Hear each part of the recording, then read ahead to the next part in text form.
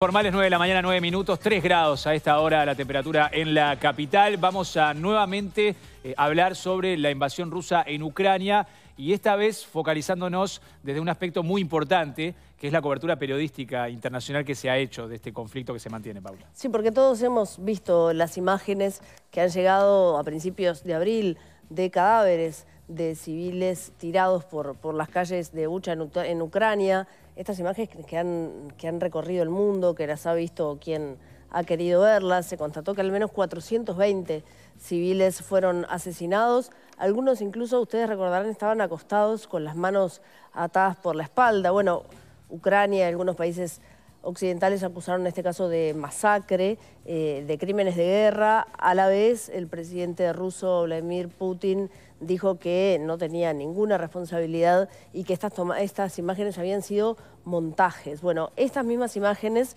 eh, las utilizó el presidente ucraniano Vladimir Zelensky para denunciar esta situación ante las Naciones Unidas. Imágenes que eh, eh, también ha, tomado y ha estado en el lugar Nicolás García, un, periodista de la AFP que estuvo allí en, en, la zona durante algún tiempo y que esta mañana está aquí con nosotros para poder contarnos acerca del tema, cómo vivió toda esta situación y cómo es estar en ese lugar en un momento tan terrible como el que está atravesando. Nicolás, te agradecemos mucho por estar acá con nosotros. No, por favor, buenos días. Bienvenido. Bienvenido.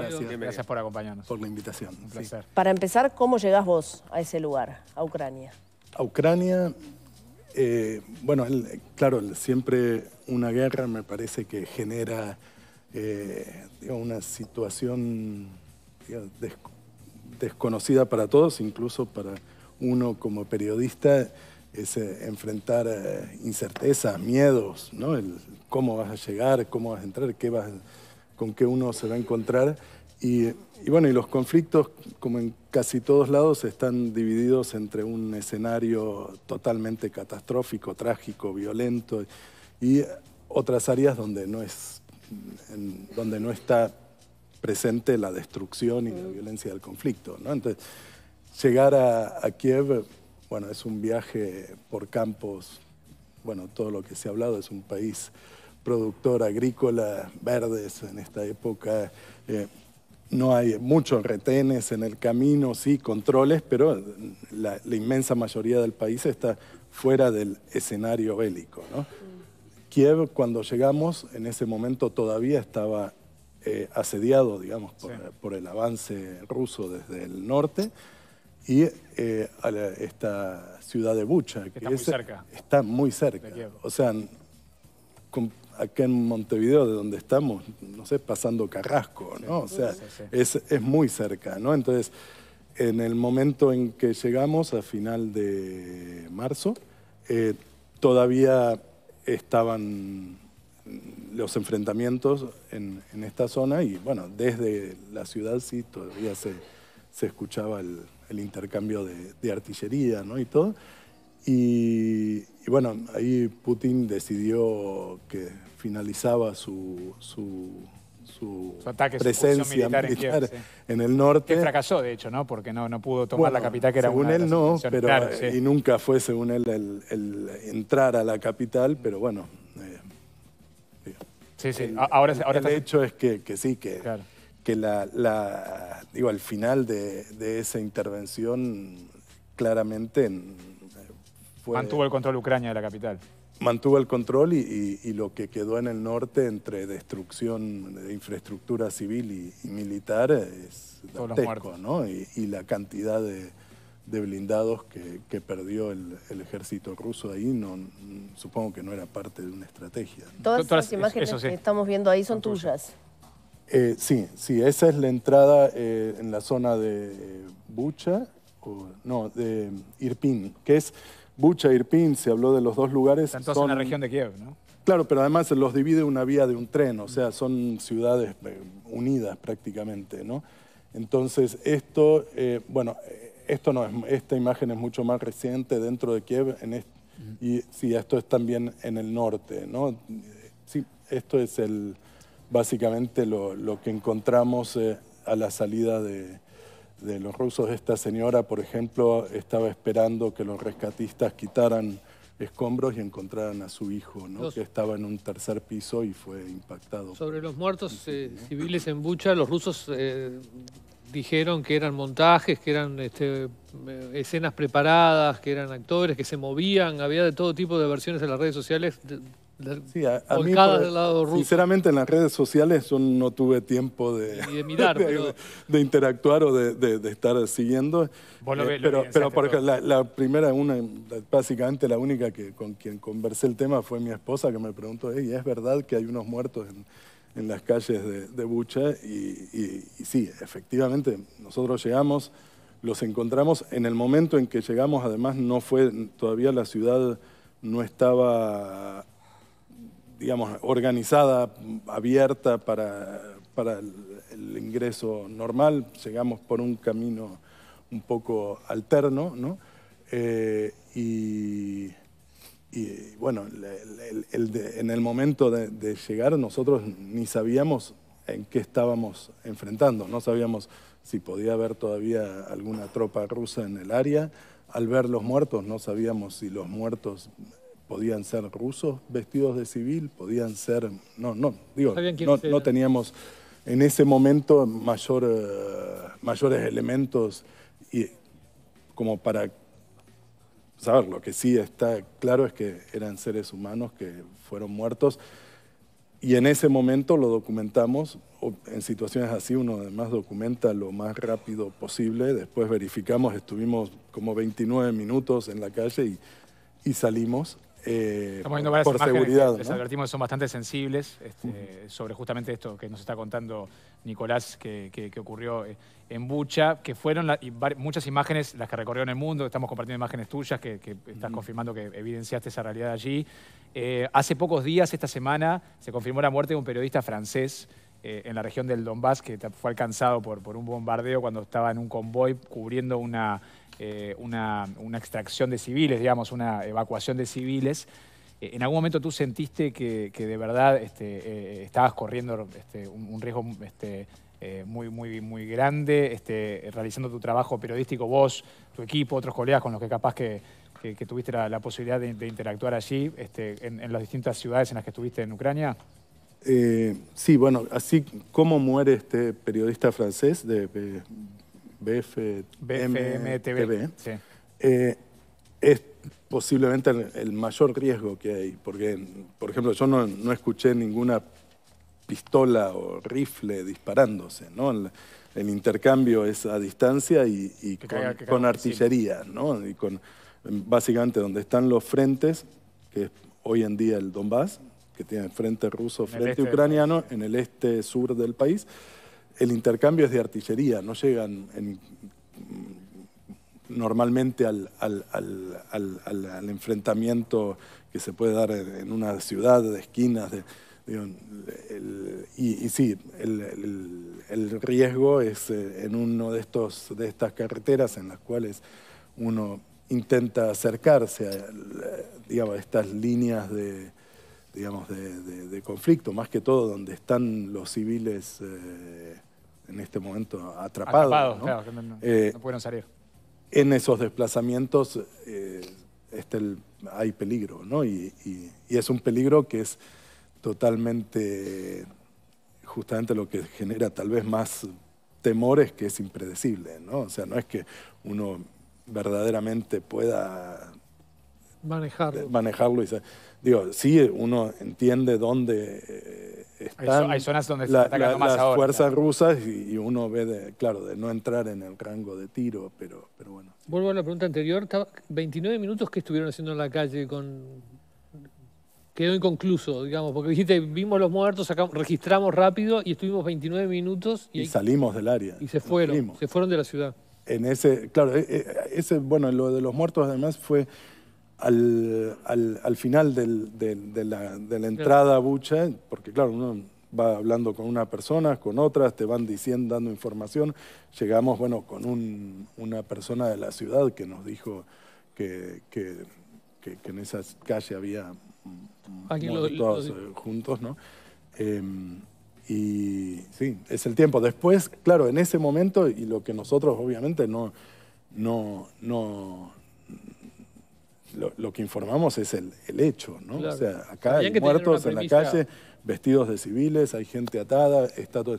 ¿Y el, trabajo para ir identificando...? Este... Eso fue, claro, y es algo tal vez menos notorio, menos público, y se hizo, la, la agencia FP, varios equipos trabajamos eh, separadamente también en Bucha, semanas después, siguiendo casos, identificando personas, eh, yendo a los vecinos que fueron testigos, que tenían imágenes en las que se veía en un momento, una, tenemos básicamente geolocalizado cada punto, cada cuerpo.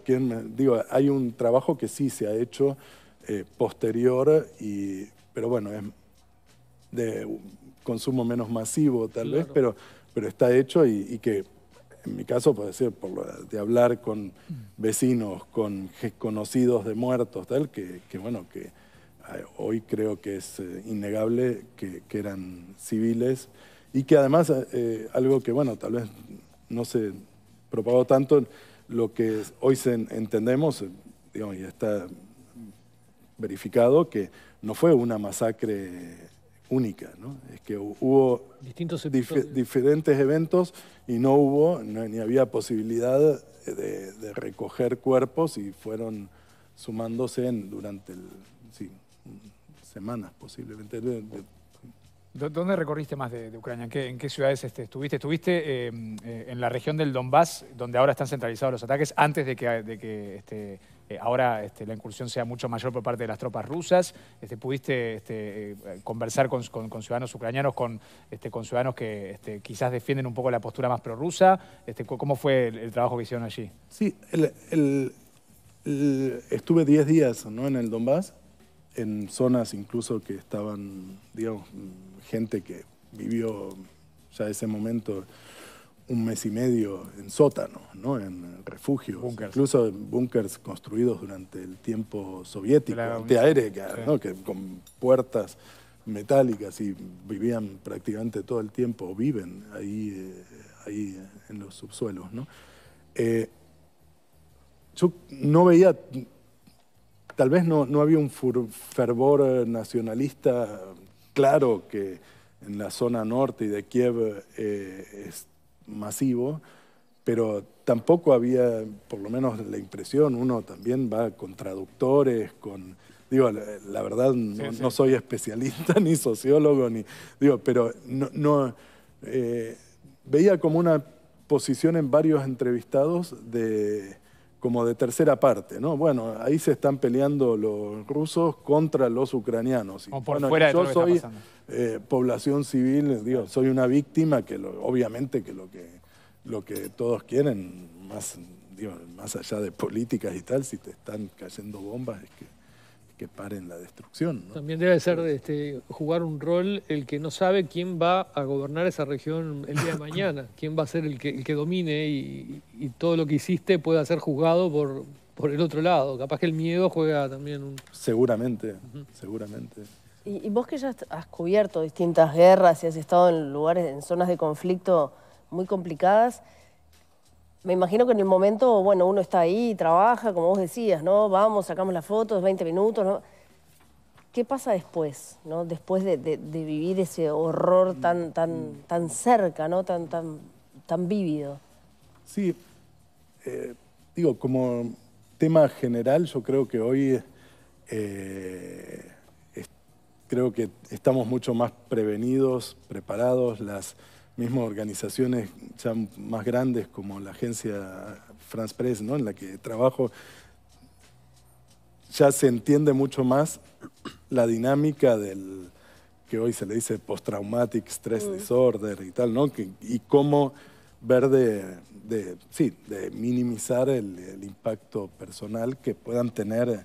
Claro, hechos que, digo, a ver, yo 99% del tiempo que estuve en Ucrania no estuve en situaciones de, digamos, de, estrés. límite. límite. Pero, pero claro, e, existe esa y, y que mal manejada eh, puede llevar a problemas, ¿no? Digo, como todo conflicto en la población civil, pero en el periodismo específicamente uno ve que, y, hemos, y si retrocedes en el tiempo, teníamos esa actitud muy, además, eh, en general masculina, porque eran los hombres que iban a los conflictos y volvían y solo quedaban como patinando en eso y sumándole en muchos casos alcohol, drogas y, sí, puede ser, puede generar un impacto muy negativo, pero creo que entendiéndolo y sabiendo, digamos, cuál es la dinámica del trauma, se puede llevar bien. ¿no? Eh, como, como decíamos al, principio, todas las imágenes que hemos estado viendo, en realidad las,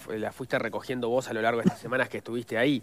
¿Vos cuánto tiempo llegabas a los lugares después de, los ataques y, digamos, cuál era el manejo de información que tenías sobre al lugar que estaba yendo? Eh, ¿Sabías que estaba yendo a un lugar donde ya el ataque había cesado y no había riesgo? ¿Estabas yendo al lugar del ataque y, llegabas un poco después? ¿Cómo, ¿Cómo se daba eso? ¿Qué comunicación tenías vos? No, no la, dinámica fue diferente, ¿no? Es que al inicio, como decía, los rusos estaban cerca de Kiev y bueno, era, y estaba un, dos días después de mi llegada, eh, ya estaba el movimiento de salida ruso y fue cubrir eso, ¿no? Básicamente ir siguiendo los pasos eh, dentro de lo posible, pero claro, con información muy poco verificada, ¿no? O sea, porque claro, hay, hay también intereses fuertes, ¿no? De, en algunos casos decir, ya tenemos el control de esta zona, y entonces, bueno, es una ¿Es una declaración política o es verdad? ¿no?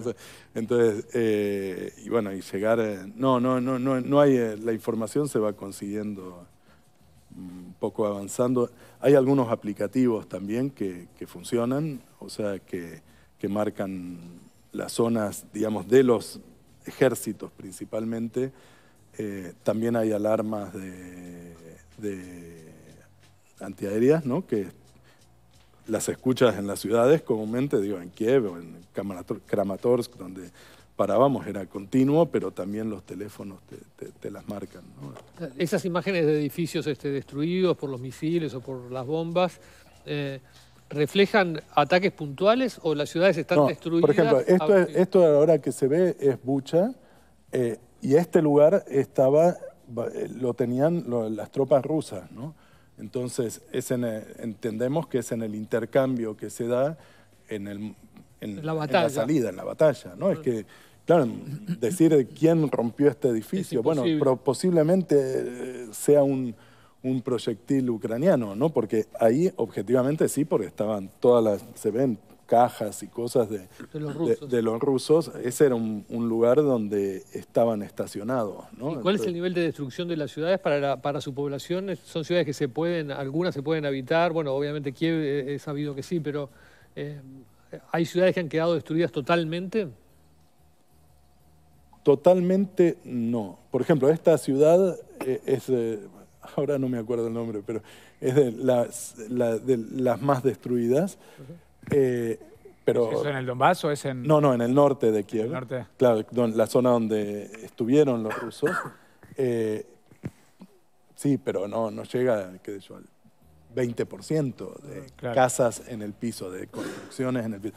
Pero, digamos, como, como cual, todas las coberturas, digamos, el hecho noticioso y lo que... Es la destrucción. Es la, destrucción. si uno va a un terremoto, es muy masiva, lo, que, a, lo que interesa y lo obvio. ¿Vos llegaste a presenciar algún corredor humanitario o a evacuación de civiles? Este, ¿Pudiste participar en algún momento o no alcanzaste a...? hay unas imágenes dentro, hay bastante material, pero... Sí, sí, claro, claro. Eh, pero no en, como el de Mariupol, que ese era muy específico porque era de una zona ya bajo... Eh, Control ruso. Control ruso en el cual civiles se desplazaban hacia zonas de, de, control ucraniano, digamos. Lo, que nosotros vimos más que todo es zonas que, en las que quedaban... Todavía quedaban en control de Ucrania. Claro, y que están, pero ya estaban en zonas de conflicto y el desplazamiento este, en, en algunos casos por tren, ómnibus, ONGs que organizaban... Y ponían camionetas para que la gente saliera de ciudades, sí. Eh, vos eh, llegaste a estar en Mariupol, ¿no? Que decías recién. No, no, no. No, llegaste a estar ahí. porque, bueno, fue la última como ciudad, o sea, importante que tomó Rusia en los últimos días, que es una ciudad estratégica portuaria. Y allí justamente, bueno, esto te preguntaba por eso, porque allí hubo un, un- un lugar este, donde estuvieron refugiados civiles y, y también este, parte de la resistencia ucraniana muchas semanas, una fábrica de, de acero que finalmente fue, terminó de ser tomada por los rusos y, y evacuada, pero eso generó también, tuvo como en, este, en una situación de, de- de extrema alerta a las autoridades este, ucranianas por, por mucho tiempo y, y a los rusos queriendo, siguiendo con los ataques ahí, ¿no? Sí, eh, fue como algo eh, Muy simbólico. simbólico, Sí. totalmente. Y, y, bueno, y en principio lo que plantea el gobierno ucraniano también estratégico porque le, le- le- le requería esfuerzos al ejército ruso que no podía Atacar otras zonas. atacar otras zonas en el Donbass, entonces tenían que seguir con Mariupol como un frente de batalla. Vos vas a, vas a volver ahora, ¿no? A Ucrania. En principio, en julio. eh, está- Esta pausa es uno de esos manejos que decís que France Press sabe ya cómo manejar el estrés de, de- de sus cronistas y No, haberte no, sacado no. un tiempo es, un- es una manera, no. No, no, no, pe- no, y sí, o sea, la- en principio hoy se entiende que, que estar eh, periodos muy largos en conflictos no es, No es bueno. Entonces, cuatro semanas, cinco máximo es, Que fue lo que estuviste, que, ¿no? que es lo que estuve, es, es lo que se, se entiende como... Porque si no, uno se confía, se, se- tal vez se acostumbra en algunos puntos demasiado y eso Toma como normal lo que no es normal. lo que no es normal. Pero en, en el momento que te comunican que estás para volver, tu, tu sensación es, bueno, está bien, me, me debería ir o querés quedarte. No, no, yo sentía que, que estaba bien. En mi caso sí. Hay gente que, que sí se siente un poco más, Se que ya se quiere ir, otros que incluso extendí un poco más, en principio iban a ser tres semanas, pues cuatro, bueno, toda la logística es complicada, ¿no? Incluso, digamos, uno dice, bueno, yo voy, estoy, pero eh, a ver, hay una estructura grande, ¿no? Alrededor, mucha, por, no sé, en, en una agencia como France Press, por cada uno en el terreno que esté produciendo, tienes un, una, sí, una cantidad de gente, gente trabajando. trabajando, producción, de todo, ¿no? Y sentís que, el, porque uno con los periodistas sabemos lidiar con la frustración de que uno, bueno, vuelca una información, queremos que la gente la tome y que actúe en consecuencia. A veces sabemos que no va a tener el efecto que quisiéramos y nos frustramos, pero sabemos que hay que manejarlo.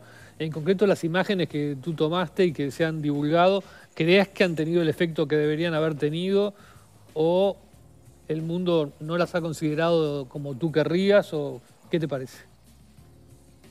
No, en, en- este caso no, yo no me, siento, creo, conforme con el resultado y creo que, que justamente el periodismo tiene un rol que- que- que quiero creer que se va revalorizando en justamente eh, ver de ser una, digo, una actividad profesional de verificar y de ver de, de encontrar las verdades y separar eh, las que no lo son, que hay bastantes y más, digamos, hoy, eh, digo, verificar la información siempre fue Claro. parte del periodismo, pero hoy en el que uno tiene tal cantidad de contenidos dando vueltas en redes sociales. Hace más todo, necesario que nunca. el- claro, el- la, la- la idea de la verificación y del estar y de ser eh, testigos, es, eh, yo creo que tiene un valor y, y bueno, eh, seguimos, ¿no? Bien. Muy bien. Nicolás García, periodista de FB, muchísimas gracias por esta entrevista. Gracias, Nicolás. Muchas Un placer, gracias, ¿eh? Y mucha Muy suerte. amable. Gracias a ustedes. Suerte en el retorno.